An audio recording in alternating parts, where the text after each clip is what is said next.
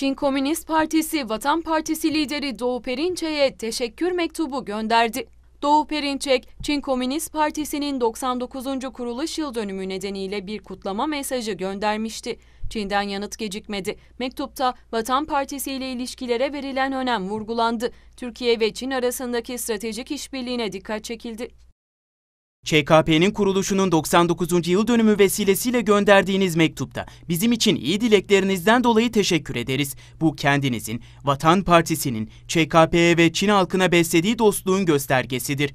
ÇKP, Vatan Partisi ile arasındaki dostluk ilişkilerine büyük önem veriyor. Farklılıkları bir kenara bırakıp ortak menfaatleri çoğaltma, karşılıklı saygı ve karşılıklı deneyim paylaşımı ruhuyla Vatan Partisi ile iletişimi ve işbirliğini derinleştirmeye, Çin-Türkiye stratejik işbirliği ilişkilerini ilerletmeye hazır.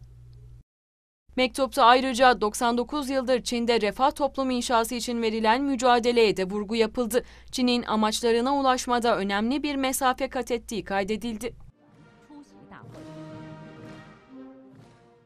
99 yıl içerisinde ÇKP dayanışma içerisinde ülkenin bütün etnik gruplarını önderlik ederek çetin bir mücadele yürüttü. Bütün zorlukların üstesinden gelerek gözle görülür başarıları elde etti. Çekirdeği Xi Jinping olan ÇKP Merkez Komitesi'nin güçlü liderliğiyle Çin'in bütün meydan okumaların ve zorlukların üstesinden geleceğine ve yoksulluktan kurtularak orta halli refah toplumun inşasını kapsamlı bir şekilde tamamlayacağına inanıyoruz.